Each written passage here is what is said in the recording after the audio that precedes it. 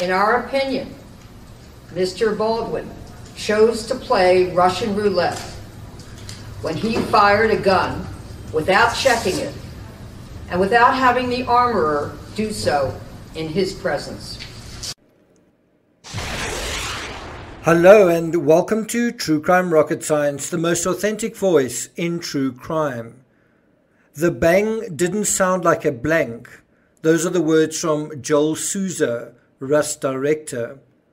The 22 page incident report, and this episode is really part one, dealing with that incident report.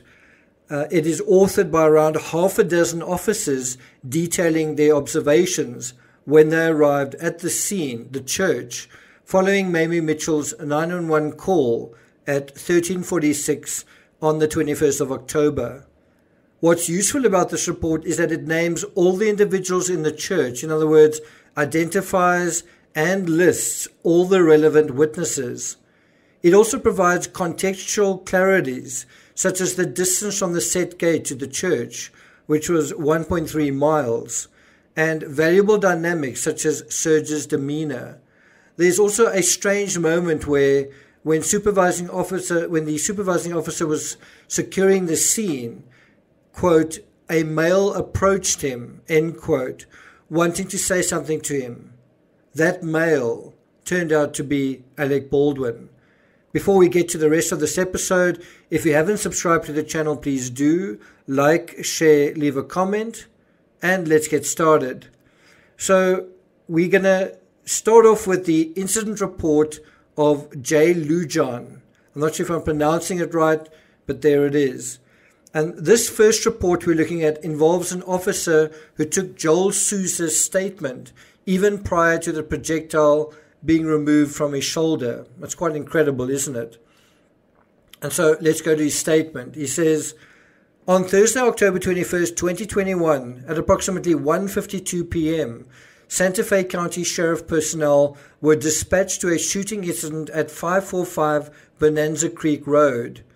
At around 2:15 p.m., so around about um, 22 minutes later,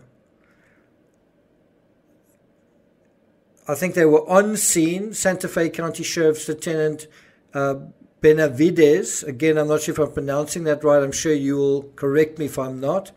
Advised one of the persons shot was were being transported via ambulance to St. Vincent's Hospital in Santa Fe. Lieutenant Benavides further requested a deputy to respond to St. Vincent's in regards to the shot subject.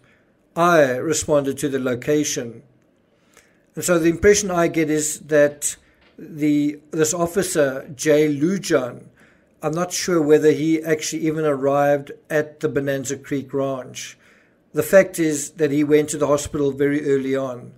Anyway, he goes on to say, upon arrival, Santa Fe County Fire Paramedic Unit 61 soon arrived and checked the conscious male subject into the hospital. The male subject was later identified as Joel Souza. Medical doctors and nurses tended to Joel. I made contact with ER Dr. Anderson and ER nurse C. Ziller.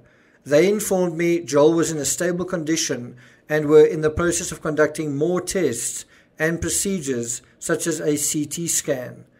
I again made contact with Dr. Anderson, who stated the possible projectile did not appear to do any severe damage, such as to blood vessels or broken bones.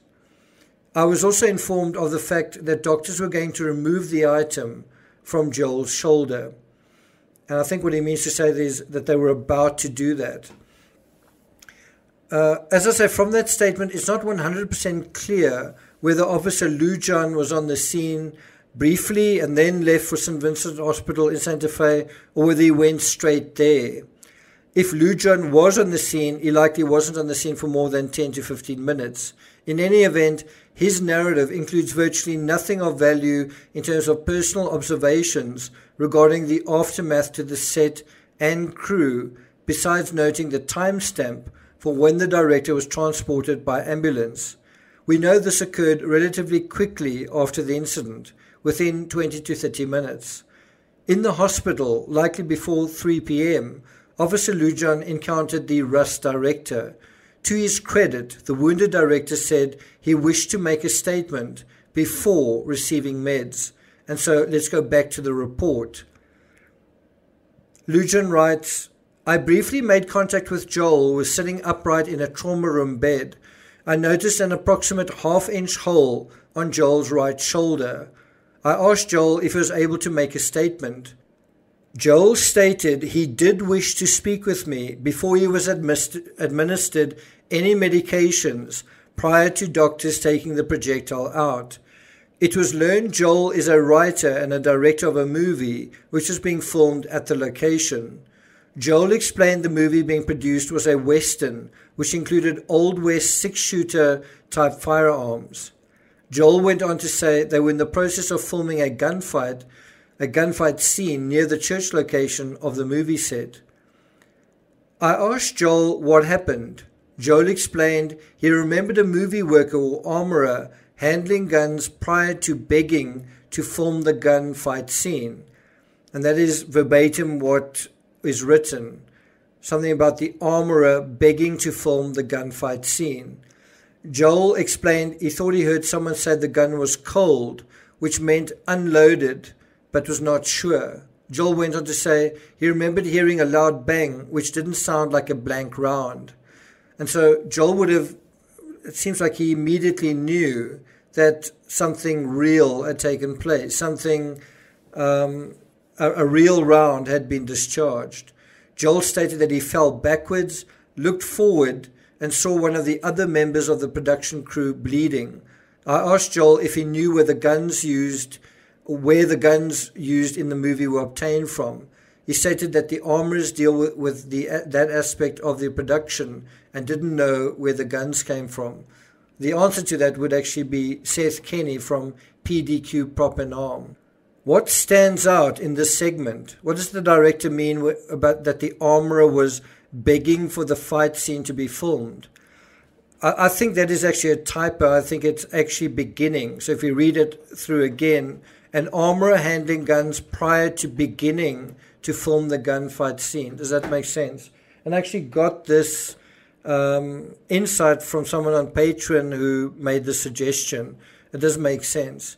Curiously, the director can't remember who said cold gun. It's curious because he was standing right there and he's the director. It's also noteworthy that even in his distressed condition, Joel seemed to notice more than Baldwin did. For example, he knew Halyna was bleeding. Baldwin says nothing about that. He says nothing about Halyna bleeding in his ABC interview. It's also significant that merely from the sound of the bang, Joel assumed correctly what had happened just based on the loudness of the bang, just that alone, Joel thought it didn't sound like a blank round. And so Joel immediately assumed that a live round was used. And that once again contradicts what Alec Baldwin seemed to be suggesting that no one in their wildest dreams could have imagined that it was a live round. It turns out that Joel seemed to think that very, very early on. Um, then the statement kind of concludes at 4 4:25 p.m. Doctors and medical staff began to administer pain medications and started to remove the projectile from Joel's shoulder. As staff turned Joel over, I noticed a lump beneath the skin on Joel's upper right shoulder blade. After about five minutes, medical staff removed a grey in colour item which appeared to be a projectile. The item was placed into a plastic container and sealed with tape. Dr. Anderson then removed the sealed tape in order to take a photo of the item. Dr. Anderson then resealed the lid with another label. There also seems to be a slight typo here where he says, The items, I kept the item. I think it should just be, I kept the item in my possession until SFSO, I think that Santa Fe Sheriff's Officer, crime scene investigators arrived and took possession. I had no further involvement in this matter. So I'm not going to take it further than that. I will be doing a follow up episode dealing with the almost half a dozen other officers who were on scene, what they saw and what they experienced. It really is quite interesting. For those interested in the Vincent van Gogh case, I did do a live earlier this evening. I'll be doing it every Wednesday at about the same time, 4 or 5 p.m. Eastern Standard Time you will need to be a member to participate in it. Uh, the first show seemed to be quite interesting based on a lot of the comments. So if you're interested in that, uh, join, become a member. I'll put a link in the description if you would like to be part of that discussion. Then just join join the channel. Also, if you're enjoying the content here, you can join Patreon for as little as one dollar a month, and uh, I'll also put a link to that. It's www.patreon.com/slash tcrs. Thank you for listening, and I'll see you guys next time.